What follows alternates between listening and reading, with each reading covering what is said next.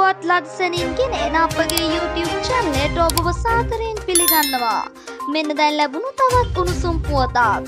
Heroin ජාවාරමේ යෙදුණු බව කියන උපුවල ප්‍රාදේශීය සභාවේ ශ්‍රී ලංකා පොත්ජන පෙරමුණ මන්ත්‍රීවරයෙකු හා කාන්තාවන් දෙදෙනෙකු සැකපිට අත්අඩංගුවට ගත් බව මාතලේ මූලස්ථාන පොලිසිය සඳහන් කරයි.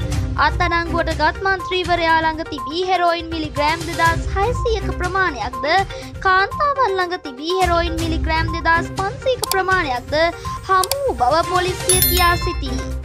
සැකකාර මන්ත්‍රීවරයා මීට පෙර අවස්ථා ගණනාවකදීම සොරකම් හා වෙනත් සිද්ධීන් සම්බන්ධයෙන් අත්අඩංගුවටගෙන අධිකරණය හරහා ඇප ලබා සිටිය අයෙකු බවද පොලිසිය පැවසීය. ඊට අමතරව ඔහුට විරුද්ධව ළමා අපයෝජන සිද්ධියක් සම්බන්ධයෙන් මහාධිකරණයේ නඩුවක් පවතින බවත් පොලිසිය කියා සිටී. මෙවැනි උණුසුම් පුවත් ලදසනින් දැන ගැනීමට අපගේ YouTube චැනලය සබස්ක්‍රයිබ් කර බෙල් අයිකනය ක්‍රියාත්මක කරන්න.